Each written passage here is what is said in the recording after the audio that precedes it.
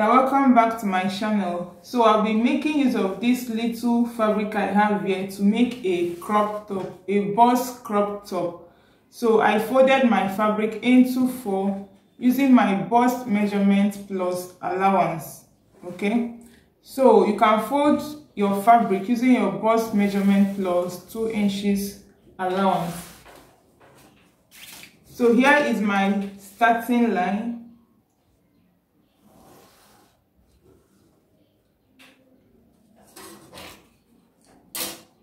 here is my starting line. So i'll take my shoulder measurement. My shoulder divided by 2 is 7 inches.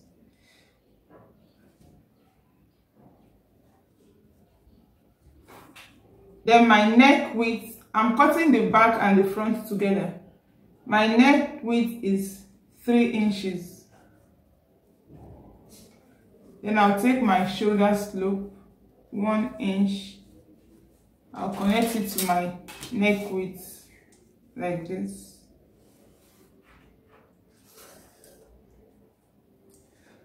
Then from the slope, I'll take my armhole measurement. My armhole divided by 2 is seven and half inches.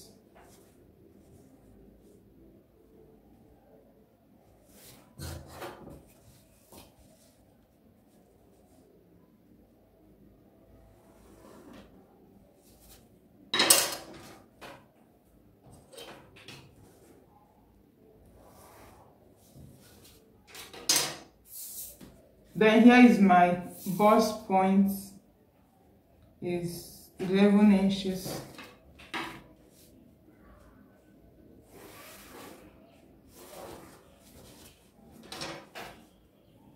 Then I'll take my half length.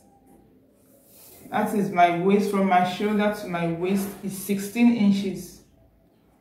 Then I'll add about one and a half inches to two inches for the folding I'll be adding one and a half inches here.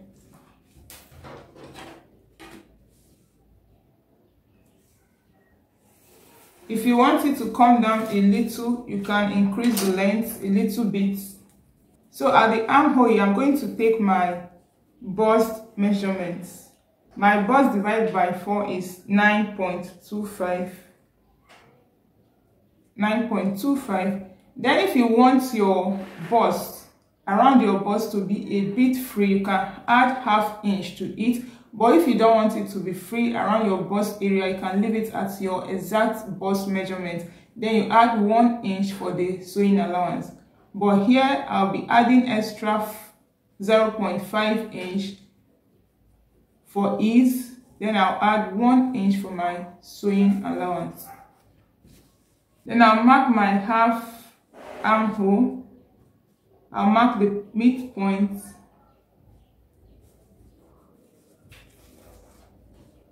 Then go in by 0 0.5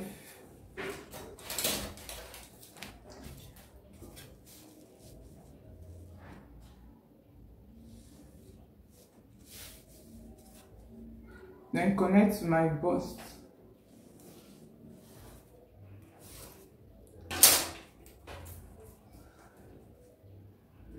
For the back neck depth, I'm using 1.5.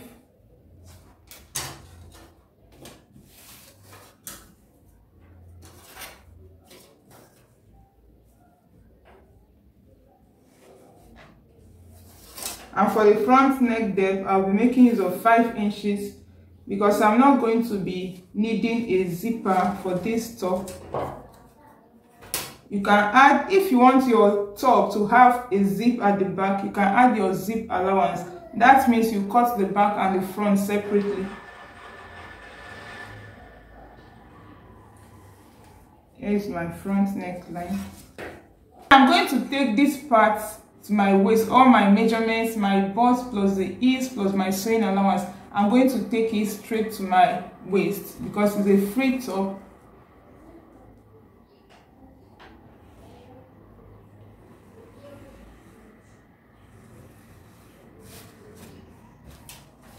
we are going to cut out the back first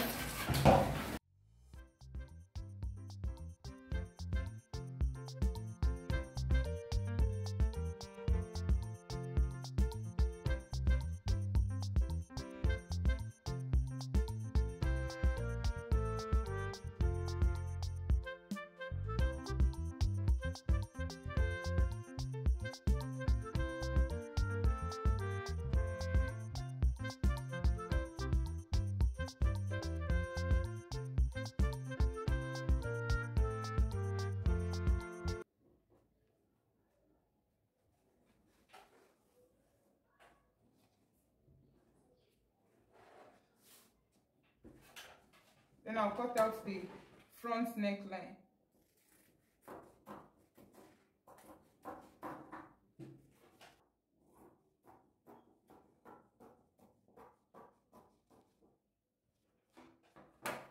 I'll be cutting the two sleeves together.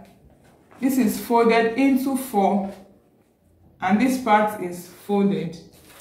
So I'll be using my armhole measurements divided by 2 and I have 7.5 inches plus 1 inch sewing allowance. I have 8.5.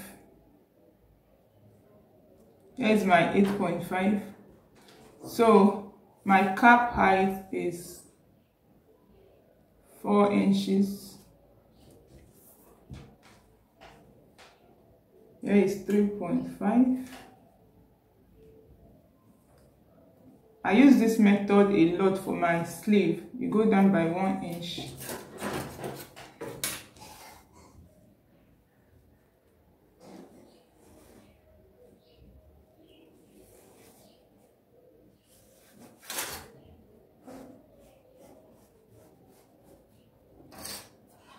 The length of my sleeve, I'll be working with the fabric I have here.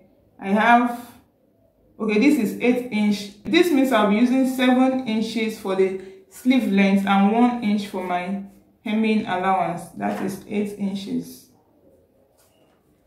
And the roundness of my sleeve is 12 divided by 2. I have 6 inches plus 1 inch sewing allowance and I have 7 inches. Then I'll connect it to this point here.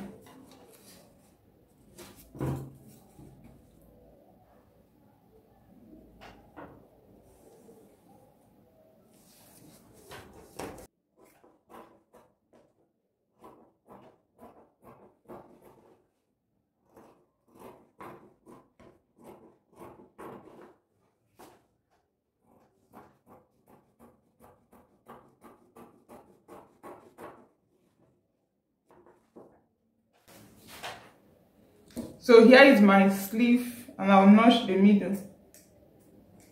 I'll be using bias to pipe the neckline. After piping the necklines with bias, I'll be joining the shoulders with half inch. For the sleeve hem, I'm going to be folding half inch inside and half inch again for neat finishing. Then I'll attach it to my armhole. I'll be linking the tutorial on how to make a short on the description for those that have not seen the video, I have a tutorial on how to make a short.